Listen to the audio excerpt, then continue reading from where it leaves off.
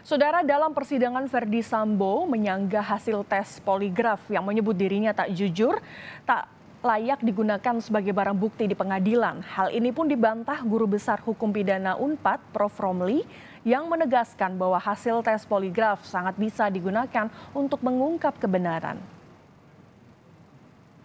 Di poligraf, saudara ditanyakan apakah saudara melakukan penembakan terhadap Joshua? Jawaban saudara apa? Tidak. Tidak. Sudahkah hasil yang saudara ketahui? Sudah. Apa? Tidak jujur. Terima kasih, Bapak. Tidak jujur. Itulah hasil tes poligraf yang dijalani terdakwa Ferdi Sambo saat ditanya penyidik terkait keterlibatannya dalam penembakan Yosua Huta Barat. Dalam sidang lanjutan kasus pembunuhan berencana Yosua, Ferdi Sambo yang hadir sebagai saksi kembali ditanya oleh jaksa penuntut umum terkait hasil lie detector. Meski mengakui hasil tes yang menunjukkan Sambo tidak jujur, mantan Kadif Propam ini menyanggah hasil poligraf dirinya dan menganggap jaksa memberikan pertanyaan yang menggiring opini. Uh, yang mulia, Ya, ini harus di mohon, mohon maaf yang mulia. Ya. Belum selesai saya menjawab. ya silahkan. Jadi poligraf itu setahu saya tidak bisa digunakan dalam pembuktian di pengadilan.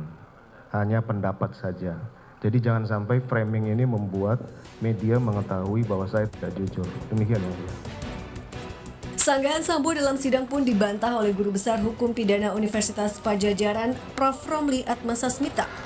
Ia menegaskan hasil poligraf yang menguji kebohongan bisa digunakan di persidangan.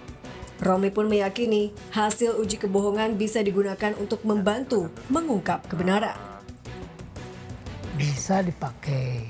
Bisa. Jadi Kalau si- lie detector itu kalau terdakwa- hasilnya bisa dipakai. Kalau Sambo mengatakan begitu itu kan pendapat dia.